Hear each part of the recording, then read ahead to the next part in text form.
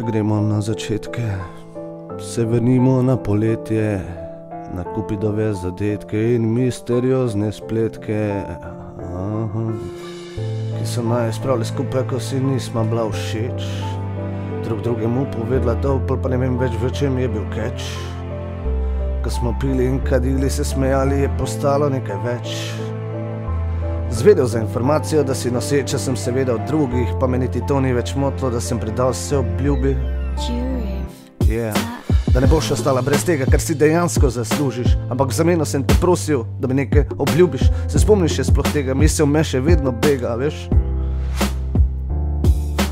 Prošnje za šolo in podobno niso bile le zame, bile so vizije, neke profi mame, kar v tebi še vedno vidim, zato pride do drame. Ko se pogledava v oči vidim, da ti še vedno isto gledaš name, pa me gane, kak sploh me lahko še tako gledaš po vsem času, kaj si mi zadajala rane. Ko sem se trudil za te, ti nudil bate, ti nudil streho, ti nudil uteho, ti nudil preživetje, ti nudil sveža oblačila, vse od mame pa do tete, če ste vse pičke iste, what the fuck se pa grete, ha? Pokaži malo hvaležnosti, ne boš ostala brez jezika. Pa daj še malo spoštovanja, pa sama veš, da me zamika. ja. Zahtevam veliko, ampak za tebe očitno preveč, spizdi vun iz glave mi tega, ne grem se več, dovolj je neprespanih noči, sam s sabo govoreč, trpeč, fulgled goreč, spodočnjaki zaznoret. Očitno si bila druga mi, zdaj pa imam abstinenčno krizo, tudi ti si očitno imela, kot ti jo je drugi lizo. Medtem ko si rekla, one baby, one hurt, in nisi pustila, da svrši mimo, pa to ni edino zanimivo, ko je bilo igrivo, si mi rekla, ljubim te, dekle v šivo.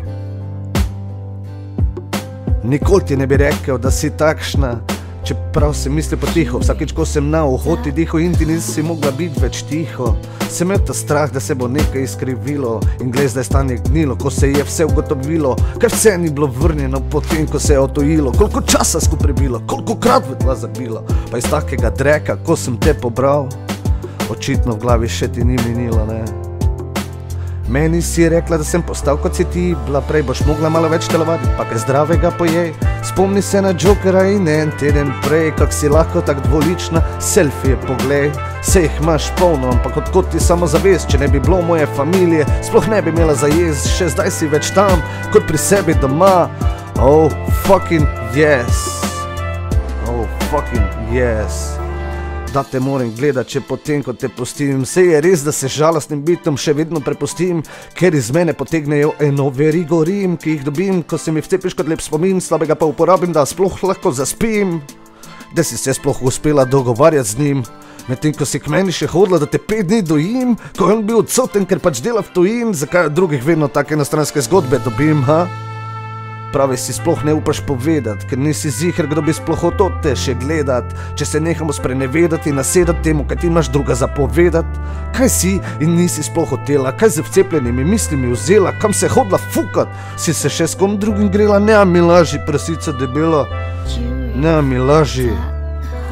Kako lahko verjamem temu, kaj je bilo zdaj, še tri tedne nazaj in primerjam z obdobjem in razlogi od pamti veka že kdaj? Zakaj si bila toliko v Mariboru, če pa smo živela na Ptuju? Zakaj si vedno tja hotela, jaz pa bil sem tu? Medtem ko tukaj si mi pravila, kako močno si si me želela, oba naivno sma verila vsaki besedi tvoj, ki iz usti priletela in bila fake vesela.